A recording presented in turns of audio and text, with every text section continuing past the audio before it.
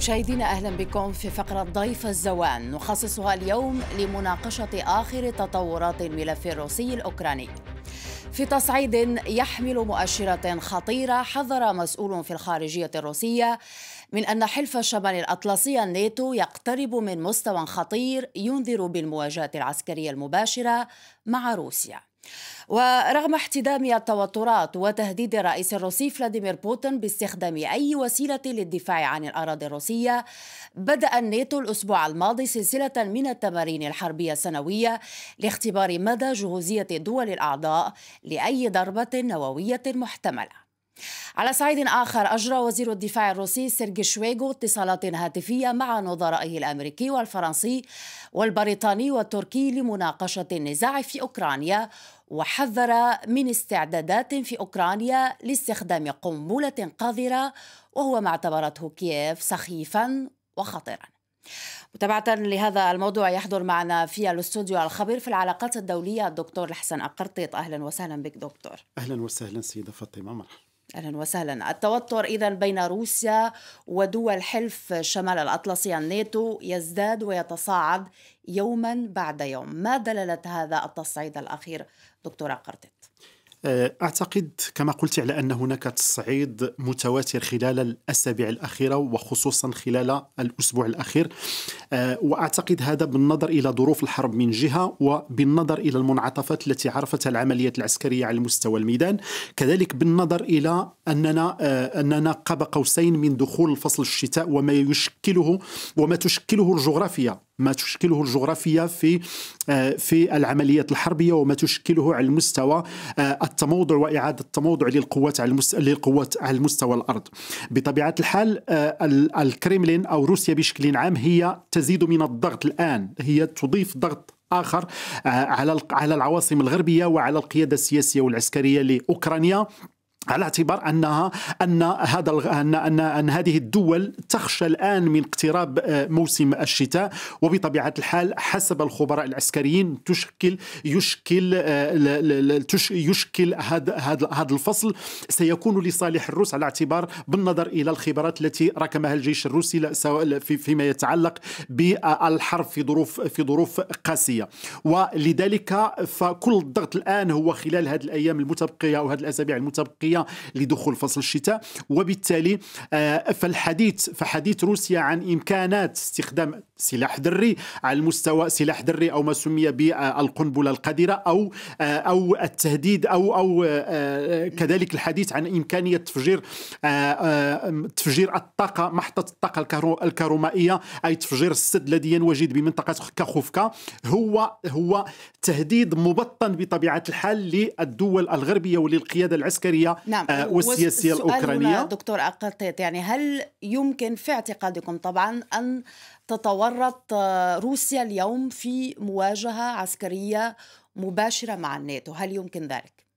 أعتقد بأن السؤال هو معكوس. هل بامكان هل الناتو سيتورط أكثر في آه، الحرب الروسية الأوكرانية؟ هو في حقيقة الأمر أن الحرب منذ بدايتها كانت حرب روسية غربية روسيا آه، غربية بطبيعة الحال ولكن إلى حد إلى حد ما بالوكالة. لأن في نهاية المطاف الجيش الأوكراني كل الأسلحة التي يتوفر عليها الآن هي إمدادات للعواصم للعواصم الغربية ولأعضاء آه، حلف الناتو. وبالتالي لحدود الآن كانت هي واشرتم في بدايه التقرير على ان روسيا تتحدث عن عن التورط المباشر للناتو في حين آه، أن ان أن آه، أن المساعدات مساعدات حلف حلف شمال الأطلسي هي مساعدات معلنة هي مساعدات مستمره هي مستمرة هو إمداد بأسلحة الدفاع آه، الجوي. لذلك أعتقد على أن ما ما أشار إليه ما أشار إليه الروس هو امكان التورط المباشر بمعنى دخول قوات على الأرض. وما دمنا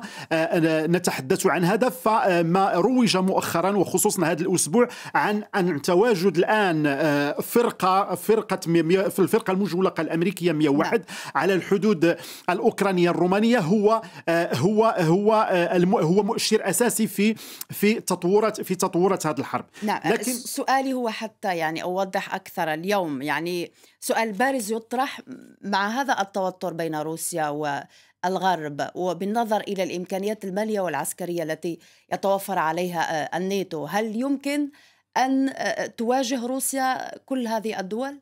آه، في نظري لا أعتقد على أنه ستكون هناك مواجهة مباشرة ما بين روسيا وبين حلف الناتو.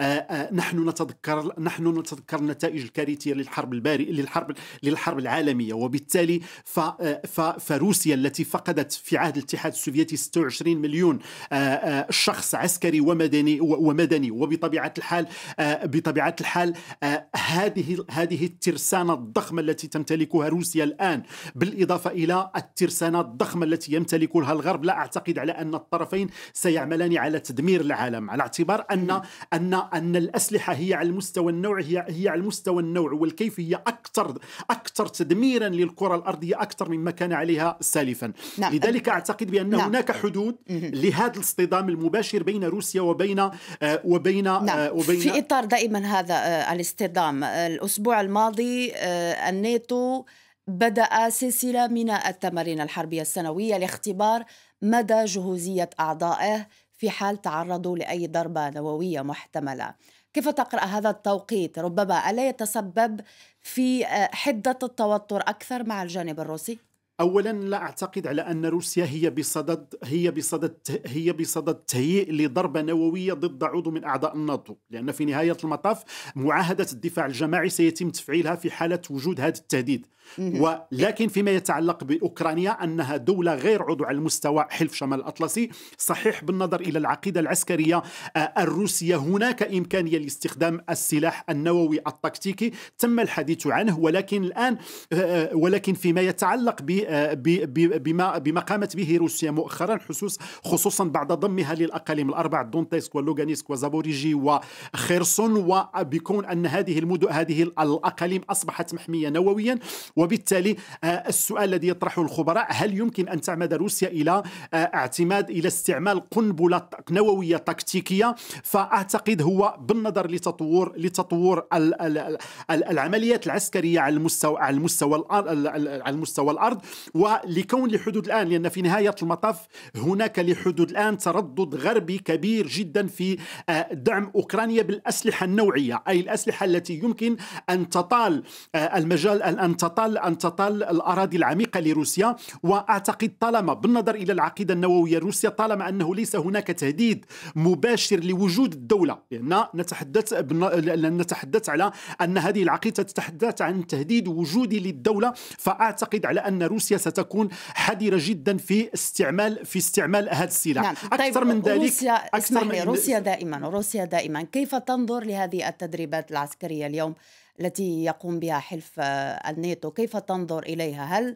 تأخذها يعني بجدية أم ربما تقول بأنها تنظر إليها بعين آه، كما نقول يعني آه، بعين القوة؟ بعين استعراض أنا العضلات أنا فقط. أعتقد على أن معاهدة عدم انتشار معاهدة منع انتشار الأسلحة النووية لسنة 1968 و ومعاهدة آه، آه، حظر استخدام الأسلحة النووية التي تم توقيعها سنة 2017 أن تعرف هذه المعاهدات السلاح النووي كسلاح ردع كسلاح نغم دو نون كسلاح لعدم الاستعمال بل هو سلاح للردع. وبالتالي لا أعتقد لا أن لا روسيا ولا حلف الناتو بإمكانهما استعمال هذا السلاح. أتحدث عن السلاح النووي الاستراتيجي صحيح أن هناك الآن على المستوى على المستوى مراكز الدراسات وعلى المستوى آه، وعلى المستوى بعض العواصم على الحديث على إمكانية استخدام السلاح التكتيكي. آه، وحقيقه أنه ليس أن لا روسيا ولا أعضاء الناتو ليس هناك من دولة الآن تكون أن تكون هي الأولى السباقة في تاريخ في التاريخ لاستعمال سلاح نووي تكتيكي. آه، الآن الآن على المستوى الآن التاريخ يتحدث عن أول عن عن استعمال السلاح النووي سنة 1945 نتحدث عن الولايات المتحدة الأمريكية ولكن كان سلاحا استراتيجيا. فيما يتعلق بهذه الأسلحة النووية التكتيكية بمعنى بمعنى ذات المدى المحدود جغرافيا جغرافيا أعتقد على أن كما قلت بالنظر إلى تطور المعارك على المستوى على مستوى الأرض بالنظر إلى كون أن روسيا تحتل إلى حدود الآن 15 من من من من من أوكرانيا. آه، لا أعتقد على بالمنطق العسكري أن هناك حاجة لاستخدام السلاح آه، السلاح النووي التكتيكي لأن ينبغي الإقرار وينبغي القول على أن آه، روسيا تمتلك تمتلك أسلحة أخرى بإمكانها أن تستعملها روسيا له لديها الآن إمكانات ضخمة لإطالة أمد الحرب لأن كما قلت روسيا تربح الوقت للدخول إلى فصل الشتاء وبالمقابل آه، دول حلف شمال الناتو تحاول أن تضغط من جانبها عبر هذه التدريبات العسكرية وعبر آه، هذه هذه الفرقة المجولقة الأمريكية المتواجدة آه، على الحدود الأوكرانية نعم. الروسية نقف عند هذه الفرقة نتحدث الآن عن الجانب الأمريكي. الجانب الأمريكي آخر تطورات آه، واشنطن آه، قامت بنشر هذه الفرقة فرقة 101 المحمولة جوا للمشاركة في التدريبات العسكرية. يعني ومعلوم بأن واشنطن كانت قد قالت وصرحت بأنها لن تتدخل في أوكرانيا وستكتفي فقط بالدعم المادي واللوجستي اليوم ما قامت به هل نفهم بأنه آه، دخول مباشر للولايات المتحدة في هذه الأزمة وهل سيغير من مجرى هذه الأزمة؟ آه، موضوعيا أنا في أنا في اعتقادي على أن ما يحدث الآن سواء الجيش سواء سواء الجيش آه، آه، الجيش الروسي وتسخين كل الجبهات الآن أو ضرب كل الرقعة الجغرافية لأوكرانيا أو هذا هذا هذا هذا الحشد على المستوى بيلاروسيا أو هذه التهديدات خصوصا هذه التهديدات بالقنبلة النوويه بالقنبلة القذرة أو بتفجير المحطات محطة المحطة الكهرومائية التي قد تودي بأكثر قد تغرق أكثر من 80 بلدة ومدينة. آه، وهذا وبطبيعة الحال هذا إرسال هذه الفرقة الأمريكية. أعتقد بأن بأن الأمر هنا يتعلق بطاولة المفاوضات بمعنى بتحسين شروط المفاوضات. أعتقد بأن هناك مفاوضات الآن جارية بين الطرفين وبالتالي كل ما يحصل الآن كل ما يحصل الآن هي أوراق ضغط ستحضر على المستوى المفاوضات. الروس يريدون صفقة سياسية صفقة سياسية مع الغرب فيما يتعلق بأوكرانيا وفيما يتعلق بالأقاليم. التي تم احتلالها الآن والتي تم ضم والتي تم ضمها مؤخرا. وبطبيعه الحال المؤشرات الكبرى كما المؤشرات الكبرى هي الاتصالات بين الوزير بين الوزير الدفاع الروسي وأربعة وزراء دفاع آه، على مستوى حلف الناتو الفرنسي والبريطاني والأمريكي والتركي وينبغي أستحضر هنا ما قاله وزير الدفاع البريطاني من أن بريطانيا هي مستعدة آه، لإيجاد المستعدة لمساعدة الطرفين على إيجاد حل سياسي لهذه الحرب كذلك ما أعلن عنه وزير الدفاع التركي كون ان أن تركيا أن تركيا هي أن تركيا هي تعمل الآن بعد صفقه صفقه صفقه صفقة الغداء آه، آه، الغداء نعم. هي تعمل الآن على على على تقريب وجهات النظر بين بين والمواقف بين الطرفين المتحاربين لذلك نعم. كما قلت على اننا نعم. ذاهبون على أن المعطيات على الأرض هو أنه رغم الجيش ورغم ورغم ورغم التصعيد على المستوى الخطاب إلا أن في حقيقة الأمر أن لكن نجد في هذه الاتصالات الهاتفية بين سيرجي شويغو ونظرائه الفرنسي والبريطاني والتركي يعني في الحقيقة الرد كان هو الرفض. رفضوا ما قاله آه، سيرجي شويغو بخصوص أوكرانيا. يعني كيف نفهم ذلك؟ طبيعي جدا أن يكون البيان المشترك بين فرنسا وبين فرنسا وبريطانيا والولايات المتحدة فيما يتعلق بوجود تهديد أوكراني باستعمال سلاح قذر. هو لأن حسب القيادة السياسية الأوكرانية أن هذا يشكل ذريعة لروسيا لاستخدام لاستخدام سلاح نووي تكتيكي. بمعنى للقيام بضربة استباقيه للقيام بضربة استباقية وأكثر من ذلك خلال هذا صبيحة هذا اليوم تم آه، نشر الخبر على نشر خبر على أن آه، الجيش الروسي فعل الإجراءات آه، لمواجهة الخطر الإشعاعي بمعنى أن هناك خطر وشيك خطر إشعاعي وشيك وبالتالي أن ما حذر منه وزير الدفاع خلال الأيام الأخيرة هو هو قد يكون هو قاب قوسين أو أدنى من مسألة تنفيذها على الأرض لكن كما قلت على أن الصورة العامة وعلى السياسة الانتماء العامة لما يحدث الآن على المستوى على المستوى آه، على المستوى الأرض هناك بطبيعة الحال هناك تصعيد على المستوى الخطاب من أجل انتزاع مكاسب على مستوى طاولة المفاوضات نعم. آه، دخول المسيرات الأوكرانية دخول التجارب الصاروخية التي تقوم بها كوريا الشمالية نعم. نختم بالخطوة التي قامت بها واشنطن والتي تحدثنا عنها عن نشر الفرقة 101 في اعتقادكم ما التداعيات المحتملة لهذه الخطوة؟ أعتقد على أن هذه الفرقة لن تتدخل في أوكرانيا بمعنى أنها لن تدخل مباشرة إلى الأراضي الأوكرانية. أعتقد على أن تواجد هذه الفرقة هو رد على على الحشد الروسي على مستوى بيلاروسيا بمعنى أن هناك تخوفات من أن تكون أن يكون الجيش الذي أعد على المستوى آه، بيلاروسيا هدفه ضرب آه، ضرب عضو من أعضاء حلف الناتو خصوصا خصوصا بولندا وبولندا ورومانيا وليتوانيا.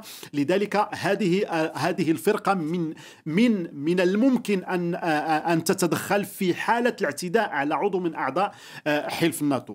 اذا كيف ستكون السيناريوهات المسارات المحتملة لهذه المواجهة اليوم بين روسيا والناتو؟ آه، كما قلت على أن الجو... على أن الحرب هي مرتبطة بالجغرافيا وأن آه، الحرب آه، وأن عامل الطقس هو عامل مهم. الآن هناك هناك ربح الوقت من الطرفين. هناك صراع صراع مع الوقت لا سواء من جانب روسيا لا سواء من حلف شمال الأطلسي. هو الخوف بطبيعة الحال هو أن يدخل هذا الفصل بقساوته وبالتالي ستكون الظروف الميدانية هي لصالح لصالح لصالح روسيا. وكما قلت على ان كم كما قلت على أن الحرب آه، في نهاية المطاف هي أعلى درجة أعلى درجة على المستوى السياسة.